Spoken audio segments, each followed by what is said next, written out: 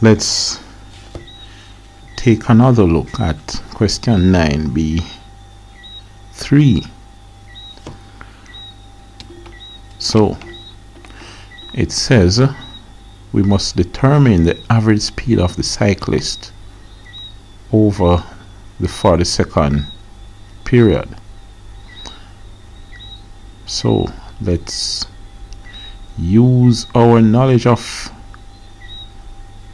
the equations of motion to see how we can solve this again and see if we get similar answer. Alright now you have constant acceleration between 0 and 25 seconds. And then constant speed from 25 to 40 seconds. Remember first of all there's a formula telling you that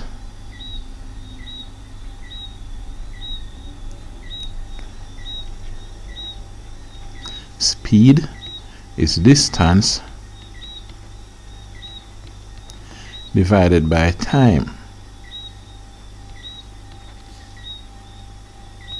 So speed is equal to distance divided by time. Alright suppose we should find the total distance. First of all you remember that um the acceleration in the first 25 seconds was meters per second per second. That is it was the slope of 10 meters per second divided by 25 seconds.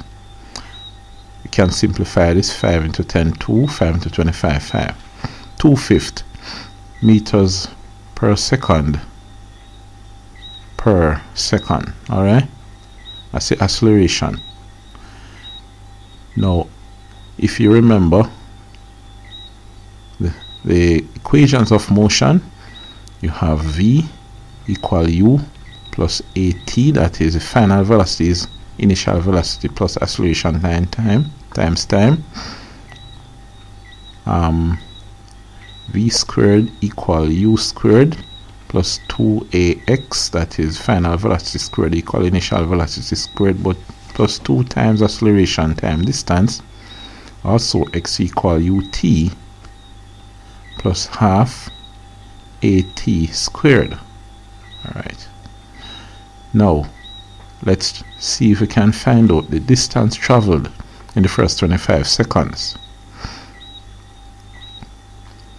We have x equal initial velocity of 0 times time plus half times the acceleration of 2 fifth times 25 squared. So x distance is equal to we can see that 2221 2221 so we have 1 fifth times 25 squared 625 so we have 625 divided by 5 giving you 125 so in the first part of the journey the cyclist would have traveled 125 meters alright so between here and here. Now the second part of the journey here. You know that the distance when you transpose this equation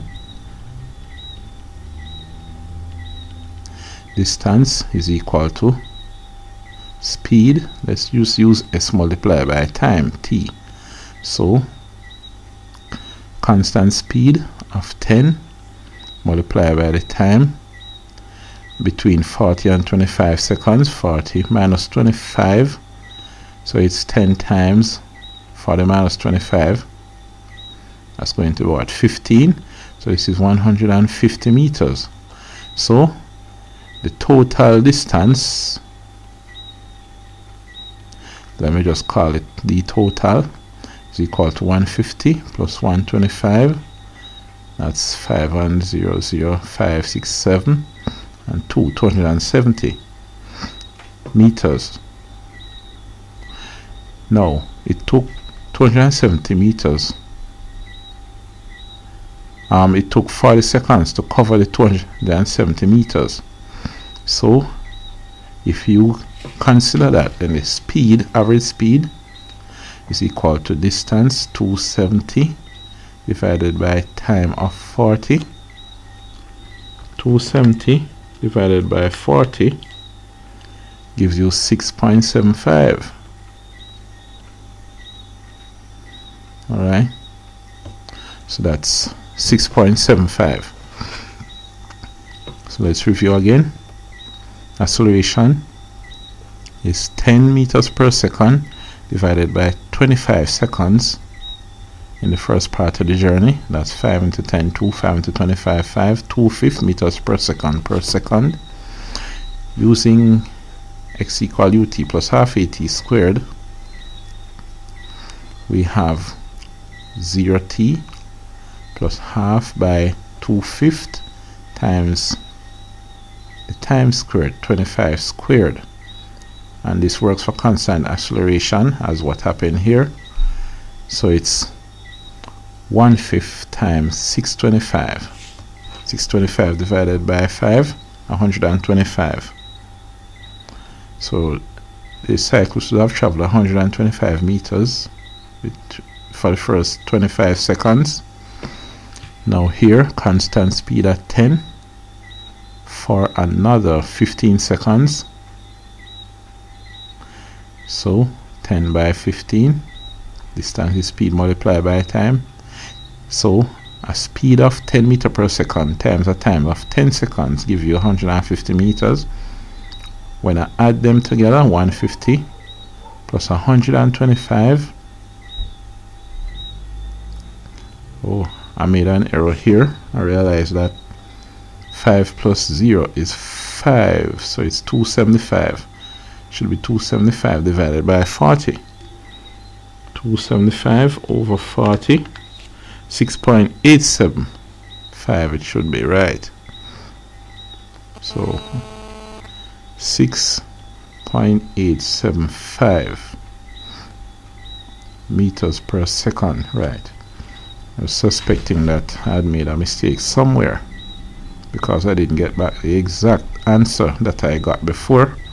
So it's right here 125 plus 5 plus 0 is 5 so it would have been 5 here. So 275 divided by 40 give you 6.875 not this this was incorrect.